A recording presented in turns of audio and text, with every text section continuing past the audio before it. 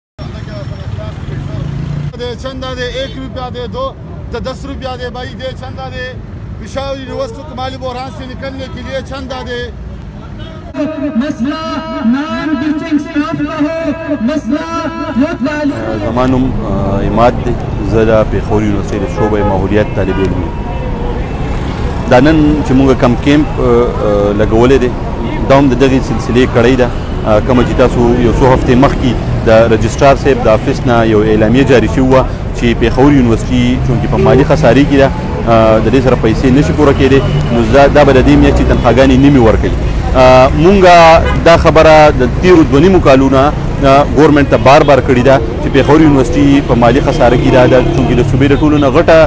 یونیورسيټي ده نو تاسو د لا په ترجیحي بنیادونو باندې بیل اوټ پیکج ورکړئ ځکه چې آلرډي د ایچ ای سي په بجټ باندې کټ هم راغلی دی نو حکومت تر دوه نیمو کالو پورې زموږ خبره وانه ورېده نو خبره دې حد ته راورسېده چې پېښور یونیورسټي نن په شدید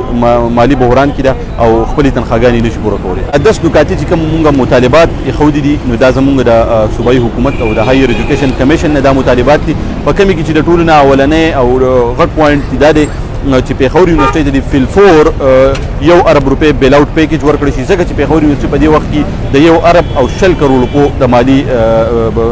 ستونزو مخه کوي او تنخواګانې نشي پوره کولی چې دا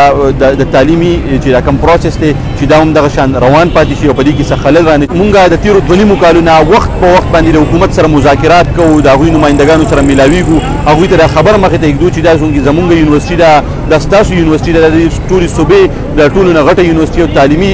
قدیمي درسګاه ده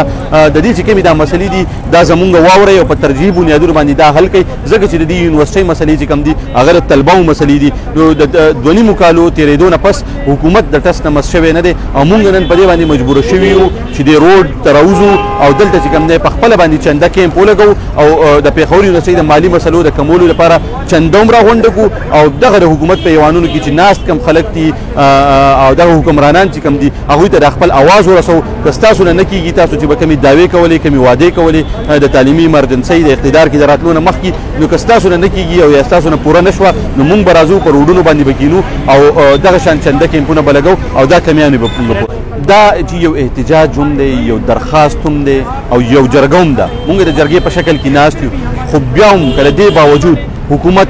څه په حرکت کې نه راځي نو دا کیمپونه به مونږ وړو دا به د دوی په صوبایي اسمبلیانو کې لګو دا به د دوی په ایوانونو کې لګو دا به د صوبې په ټولو غټو جامعاتو کې لګو په ټولو غټو اضلاعو کې به یې لګو او که داسې هم ونه کړه نو بیا به مونږ دوی په دې باندې مجبوره کوي چې مونږ لاړ شو او دوی چې په کوم دوی د خپلو کورونو نه دوی د خپل دفترونو نه راوباسو او بهر یې دې روډونو ته راولو ځکه چې نن دوی مونږ دې هلته راوستي یو چې د یونیورسټۍ نه یې راوباسلو او بهر په روډ باندې چندرا غونډولو ته کېنولي.